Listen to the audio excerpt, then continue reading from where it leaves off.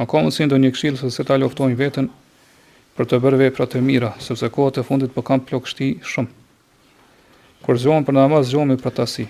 Përtoj të lexoj Kur'an, Kur'an si me shmang përtacinë dhe të bëhem të zotshëm. Çështja e parë që duhet me vepru n'këtë rast është me i lan gjynahet. Po kjo gjendje në cilën ti ke ra, kjo është pasojë e gjynaheve.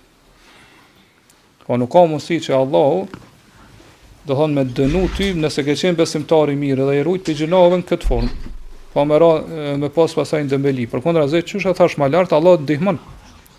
Nëse ti mundohesh për Allahun, Allahu të ndihmon. Nëse mundohesh me kry vepra të mira, dhe mu largu prej gjynaheve, Allahu të inspiron, Allahu të jep sukses, Allahu të jep forcë, edhe fuqi edhe fizike, që mi shtu adhurimet.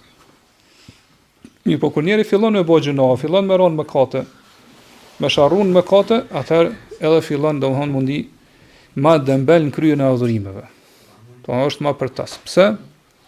Për arsye se mëkatet e humbin bereqetin te njeriu, e humbin bereqetin e dijes, e humbin bereqetin e kohës, e humbin bereqetin e fesë, e kështu me radhë. Edhe mëkatet janë sikur barrë. Për shembull, nëse ti e merr një, një peshë t'randë e çon n'supet e tua, nuk është, nuk mundesh me ecë njëjtë sikur kur nuk e ki atë peshë. Mëkatet janë sikur kjo peshë. Po kur njeriu ka mëkate mbi supet e tij, e ka vështirë pastaj që domethënë m'u çu në këmbët e tij edhe me kry adhurime. Ka vështirësi t'mëdha. Kështu që duhet me shiku ku je tu i bo mëkatet. edhe mu pë, do mi, mi braktis ato mëkate, edhe mu pendu te Allahu, sinqerisht edhe me vendos që mos me ju kthy kurrë këtyre mëkateve.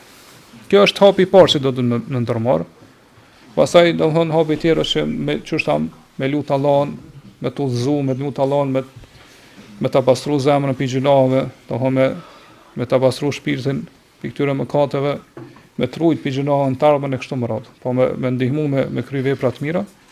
Edhe domethënë me, me lejen e Allahut subhanahu wa taala, nëse i merr këto shkaqe atëherë do të përmisohet çështja jote.